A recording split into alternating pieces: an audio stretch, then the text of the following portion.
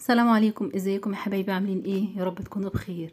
النهارده إن شاء الله في الفيديو بتاعنا حبيت أعمل معاكم الملبن بمناسبة مولد الرسول صلى الله عليه وسلم. خلاص. حبيت أعمله معاكم بطريقة سهلة كده آه هو سهل وطريقته بسيطة ومكوناته بسيطة جدا. أنا ما كنتش أتخيل إن ممكن نعمله في البيت وينجح بالطريقة دي. شوفوا شكله جميل إزاي. بصراحة شكله يفرح. أنا لما جربته ونجح معايا حبيت أشارك معاكم الطريقة عشان تجربوها وتعرفوا إنها ناجحة وبسيطة وجميلة وممكن إن إحنا نعملها بكل سهولة جدا في البيت لأولادنا ونفرحهم كده بمناسبة المولد النبوي. يلا بينا نسمي الله ونشوف المقادير وطريقة التحضير. هنحتاج لتحضير الملبن لتر من المية. الإزازة دي مقاسها لتر ونص من المية. أنا حطيت فيها لتر واحد بس من المية يعني آه خمس كوبايات اللي هي الكوباية المج العادي اللي, مقاسه 200 ملي معايا هنا كمان 800 جرام من السكر يعني أربع كوبايات. برضو بنفس المج اللي مقاسه 200 ملي وهنا آه 12 معلقة من النشا. يعني آه بمعنى إن كل كوباية من المية هتاخد 3 معالق من النشا 3 معالق كبار من النشا. وده ملح الليمون ممكن تستبدليه بعصير نص ليمونة. وده ماء الورد. هنستخدم إما ماء الورد وإما ماء الزهر. على البارد كده هحط في الحلة المية وعليها السكر وعليها النشا. وهدوبهم كده على البارد قبل ما ارفعهم على النار. لحد ما أحس إن السكر ابتدى يدوب شوية. وبعدين هرفعهم على نار آه عالية. ومع استمرار التقليب طبعا لأن النشا من الحاجات اللي بتتكتل ما ينفعش إن أنا أسيبها و... وأمشي لأن هيتكتل وهيتحرق وهيدي نتيجة سيئة جدا. فأنا مع استمرار التقليب هفضل واقفة قدامها لحد ما أحس كده إنه ابتدى يدخل في الغليان. وابتدى يربط. شايفين شكله ابتدى اهو يربط يعني بقاله تقريبا كده سبعة تمن دقايق لحد ما دخل في الغليان شوية. دلوقتي بقى هحط العسل الجلوكوز والمكون ده أنا نسيت أحطه مع المقادير الأولانية. دول أربع معالق كبار من عسل الجلوكوز. يعني كل لتر كل كوباية من المية عليها معلقة كبيرة من عسل الجلوكوز. وهقلبهم كويس ممكن تستبدليه لو مش موجود عندك بعسل النحل. دلوقتي بقى أنا وطيت النار خالص هديتها وهسيبه يغلي على النار ويربط وهياخد حوالي من ساعة لساعة ونص كده على نار هادية خالص. طبعا مع استمرار التقليب من من وقت للتاني هقلبه مش هسيبه. دلوقتي بقى هبتدي أحضر بقية المكونات بتاعتنا. أنا معايا دباره ومعايا خيط ومعايا عين جمل هبتدي أعمل حبل من عين الجمل. يعني هلضمه كده بالإبرة. شوفوا شكله. شكله جميل جدا. هعمل حبلين من عين الجمل. طبعا الكمية دي ترجع لك على حسب الكمية اللي انت عايزة تعمليها تقدري تنفذي المقادير بتاعتك. دلوقتي خلاص وصلت لمرحلة إن ابتدى غلى وزي ما أنتم شايفين كده تقل وقوامه تقل وابتدى يظهر يعني انه شكله بقى ملبن. في الوقت ده بقى هدوب معلقة ملح الليمون. هي نص معلقة صغيرة من ملح الليمون فهدوبها في معلقة مية وهحطها. وكمان هضيف ماء الورد. وممكن تستبدلي ماء الورد زي ما بقولك بماء الزهر أو بالفانيليا كمان. آه يعني النكهة اللي تحبي تحطيها ضيفيها على الملبن بتاعي الملبن كده زي ما شفتوا ابتدى يدخل في السوا.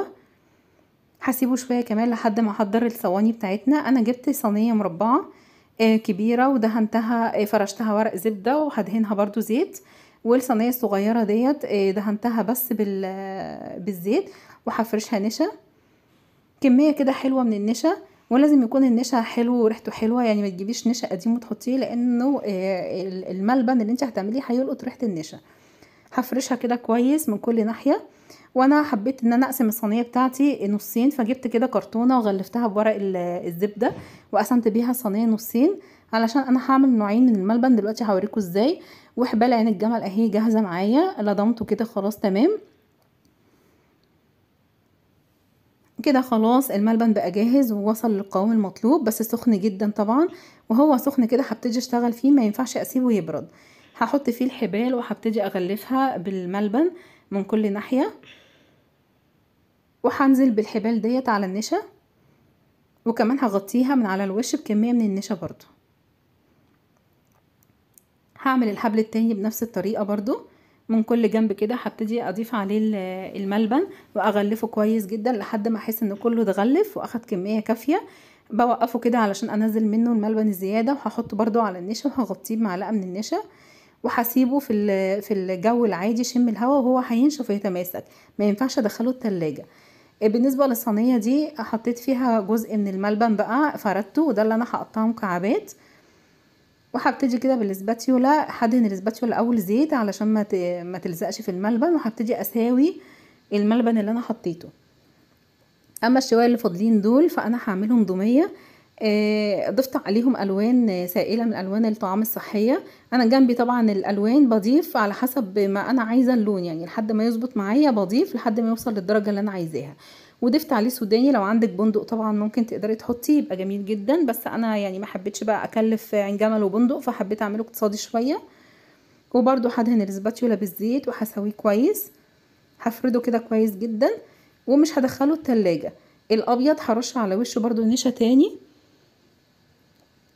علشان يبقى سهل التقطيع معايا. أما الأحمر طبعا مش هحط عليه نشا ولا حاجة. لما أجي أقطعه لو حسيت إنه بيلزق هدهن السكينة آه، بالزيت.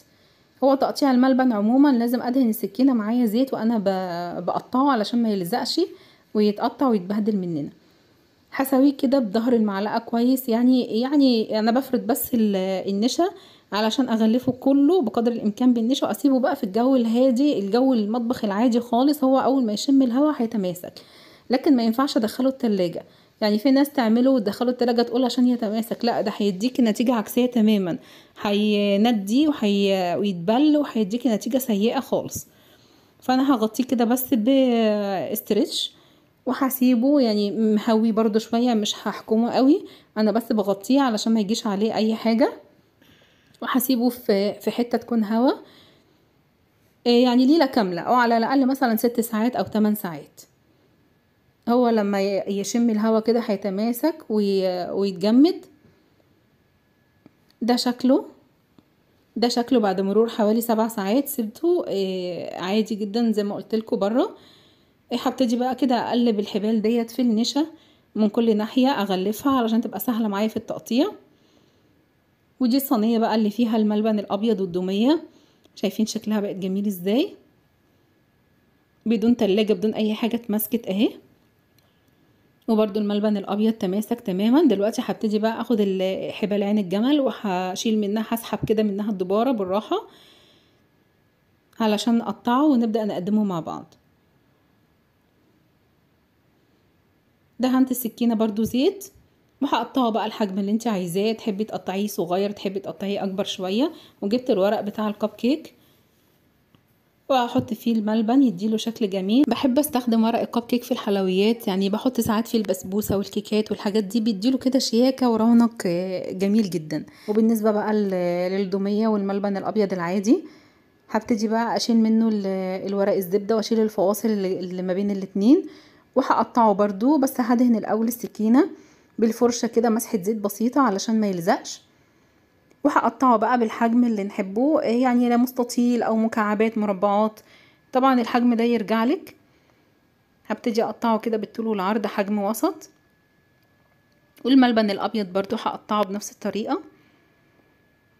جميل جدا. يعني أنا بصراحة آه، يعني مبسوطة بالنتيجة اللي وصلت لها مع الملبن. شايفين شكله جميل إزاي متماسك وشكله جميل وطبعا ده أنا مبيتوش يعني هو قعد مجرد ستة أو سبع ساعات بس في الهواء إيه لما يقعد أكتر لبكرة لتاني يوم هيبقى مظبوط قوي وهيبقى متماسك أكتر. برضه هحطه في ورق ال- الكب كيك. ونقدمه بقى كده على صينية شكلها شيك كده. آه وفي حاجة كنت عايزة أقول عليها برضو آه لو ما عندكيش ب- بتكلم دلوقتي على البدايل لو ما عندكيش عسل الجلوكوز تقدري تستخدمي نفس المقدار من عسل النحل. ولو ما عندكيش ملح الليمون هنعصر نص ليمونة صغيرة. مش هنزود لا ملح الليمون ولا الليمون. يعني سواء إحنا بنستخدم الليمون يبقى نص ليمونة صغيرة. لو هنستخدم آه، ملح الليمون تبقى نص معلقة مسحة خالص صغيرة بندوبها الأول في في معلقة مية وبنضيفها. آه، دي كانت النتيجة النهائية وبتمنى يكون عجبكم. آه، شكله جميل وريحته حلوة جدا. ماء الورد ريحته آه، باينة فيه جدا ريحته زهرة. آه، شكله حلو قوامه مظبوط. آه، الحقيقة؟ الطريقة ديت آه، طريقة الشيف ال- المحترمة الجميلة رشا الشامي. بصراحة من أكتر الشيفات المحترمات اللي أنا بحبها وبحب وصفاتها. حبيت أشارك معاكم الطريقة بما إني يعني جربتها ونجحت فحبيت إن أنا أقول ان الطريقة دي فعلا ناجحة 100% وجميلة. وكل سنة وأنتم طيبين بتمنى يكون الفيديو عجبكم. ما تنسوش إن عجبكم الفيديو أعملوا like و share و subscribe للقناة. وفعلوا الجرس عشان توصل لكم إشعارات بكل حاجة جديدة أنزلها. أشوفكم على خير إن شاء الله في وصفات أحلى. بشكركم جدا. سلام عليكم.